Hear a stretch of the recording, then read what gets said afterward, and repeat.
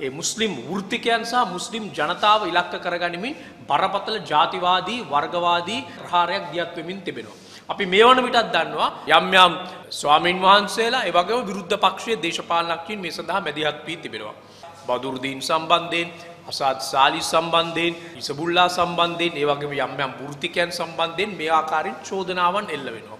විමල් වීරවංශ මහත්තයා වගේ අය ගම්මන්පිල මහත්තයා වගේ අය ඒ මහින්ද රාජපක්ෂ පාර්ශවයෙන් අපි අහන්නේ බදුෘතීන් ඔය වැරදි කරලා තිබෙන්නේ කුමන කාලයේද.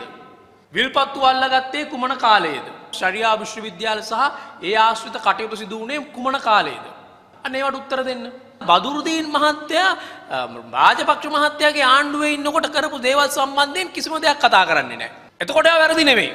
තවහිීත් ජමාත්ලා මහින්ද රාජපක්ෂ මහත්තයාගේ කාලේ පුහුණුවීම් කරනවා නම් අන්තවාදය වපුරනවා නම් ඒ සම්බන්ධයෙන් කටයුතු කරනවා නම් තවහිීත් ජමාත්ල සම්බන්ධයෙන් ප්‍රශ්නයක් නෑ. තකොට තවහිීත් ජමාත්ලා හිංසකයු.